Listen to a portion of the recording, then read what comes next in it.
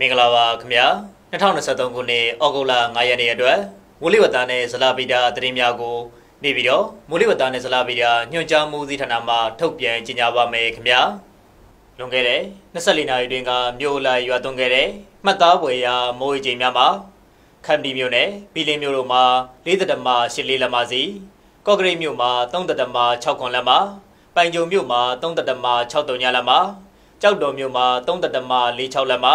ကြိုက်တုံမြို့မှာ3တတမ2တုံညလက်မှာရှမ်းရွာတင်မြို့မှာ3တတမ3ညခွန်လက်မှာလိုင်းပွဲမြို့မှာ2တတမ8 8လက်မှာဘူဒီတောင်မြို့မှာ2တတမ8ခွန်လက်မှာကြာအင်းစိတ်ကြီးမြို့မှာ2တတမ9 8လက်မှာနဲ့မြောက်ရီမြို့မှာ2တတမ4 4လက်မှာတို့တိုင်းထွာရရှိခဲ့ပါတယ်ဒီကနေ့နေ့လေတနအီခွဲချိန်မိုးလေဝသကြိုလူမှာဖမ်းယူရရှိတဲ့ပုံရကပလီပင်လည်းပြင်းနဲ့ဘင်္ဂလားပင်လယ်တောင်ပိုင်းတို့မှာ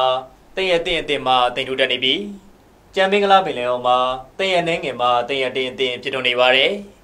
မြန်မာနိုင်ငံပေါ်မှာတော့တပြည်လုံးမှာတည့်ရတင်းအတင်းဖြစ်ထွန်းနေတာကိုတွေ့ရပါတယ်အခုတွေ့မြင်နေရတဲ့တိတ်တိုက်ကြီးကတော့အရှိတရုတ်ပင်လယ်ပြင်မှာဖြစ်ပေါ်နေတဲ့အကောင်နဲ့အပူပိုင်းမုန်တိုင်းခန်းနုံကြောင့်ပဲဖြစ်ပါတယ်အဆိုပါအကောင်နဲ့အပူပိုင်းမုန်တိုင်းခန်းနုံဟာအရှိဘတ်တို့ဖြင်းချင်းစွာရေရှားလျက်ရှိပါတယ်ဒီကနေ့မြေပြင်မိုးလေဝသအခြေအနေပြလေဖျားတူမြင်းများပုံစံအရ မြဝကျွန်းပေါ်မုတ်တမကွေမွန်တနင်္သာရီကောင်းတဲ့တလျှောက်တို့မှာမုတ်တုံလေးအကောင့်နေပါတယ်အခုဆက်လက်ပြီးဘင်္ဂလားပင်လယ်အော်ခြေနေများကိုတင်ပြပါမယ်ဘင်္ဂလားပင်လယ်အော်ခြေနေရတော့ကပလီပင်လယ်ပြင်နဲ့ဘင်္ဂလားပင်လယ်အော်တောင်ပိုင်းတို့မှာမုတ်တုံလေးအကောင့်နေပြီးကျန်ဘင်္ဂလားပင်လယ်အော်မှာမုတ်တုံလေးအာတင်တင်ရှိနေပါတယ်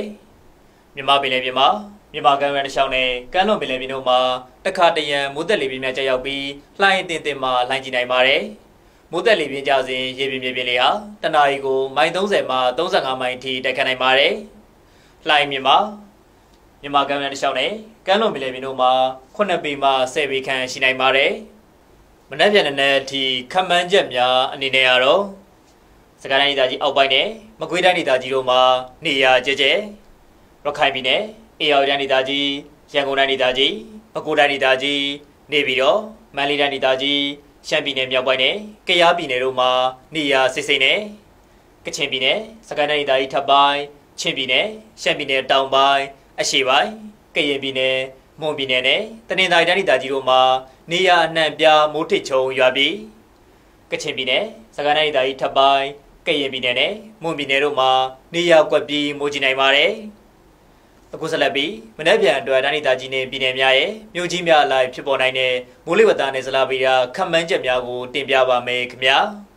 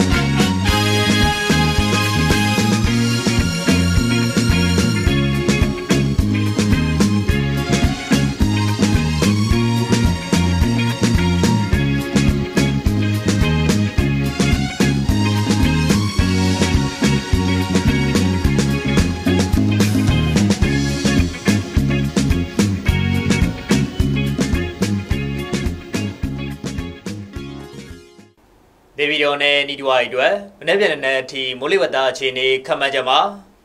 မိုးတစ်ချိန်တစ်ချိန်ထချုံရပါမယ်။အမြင့်ဆုံးပူချိန်မှာ32ဒီဂရီဆက်စီယပ်90ဒီဂရီဖာရင်ဟိုက်နဲ့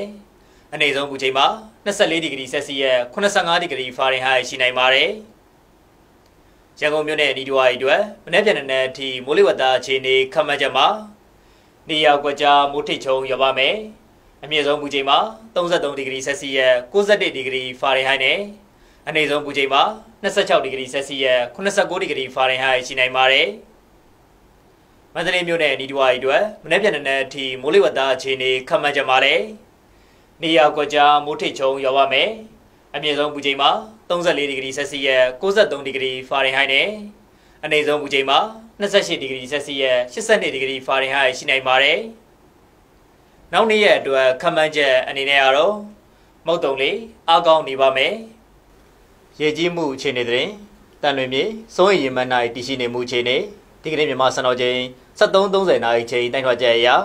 တန်လွင်မြေဟာဖအံမြို့မှာရင်းမြို့ရဲ့စိုးရိမ်မှန်ထက်သို့နှစ်ပေခွဲခန့်ကျော်လွန်ရောက်ရှိနေပါတယ်။အဆိုပါမြေဟာနောက်နှစ်ရက်အတွင်းရင်းမြို့ရဲ့စိုးရိမ်မှန်ထက်ဆက်လက်တည်ရှိနိုင်ပါတယ်။တောင်ရင်မြေစိုးရိမ်မှန်၌တည်ရှိနေမှုအခြေအနေဒီကနေ့မြန်မာစံတော်ချိန်73:30နာရီချိန်တိုက်ထွက်ချက်အရ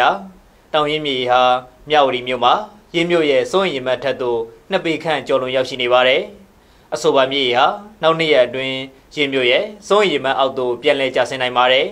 ။ဘီလင်းမြေစိုးရင်မှတ်၌တည်ရှိနေမှုအခြေအနေဒီကနေ့မြန်မာစံတော်ချိန်73:30နာရီချိန်တိုင်းထွာချက်အရ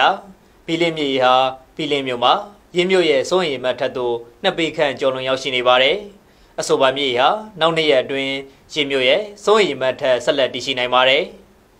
နိုင်ရင်မြေစိုးရိမ်မနိုင်တည်ရှိနေမှုခြေနေဒီကနေ့မြန်မာစံတော်ချိန်73:30နာရီချိန်တိုင်းထွာချက်အရာနိုင်ရင်မြေဟာမိုးကောင်းမြို့မှာရင်းမြို့ရဲ့စိုးရိမ်မထက်သို့တပေခန့်ကျော်လွန်ရောက်ရှိနေပါတယ်အဆိုပါမြေဟာနောက်တရက်အတွင်းတပေခန့်မြင့်တက်လာနိုင်ပြီးရင်းမြို့ရဲ့စိုးရိမ်မထက်ဆက်လက်တည်ရှိနိုင်ပါတယ်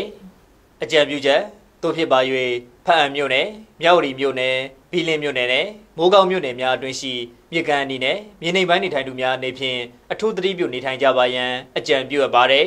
။အခုတင်ပြခဲ့တာကတော့ဒီကနေ့မိုးလဲနှစ်နာရီချိန်ထုတ်ပြန်တဲ့မိုးလေဝသနဲ့ဇလာဗီဒီယာသတင်းများပဲဖြစ်ပါတယ်။ကိုစိတ်နှဖျားစမ်းမာချမ်းသာကြပါစေခင်ဗျာ။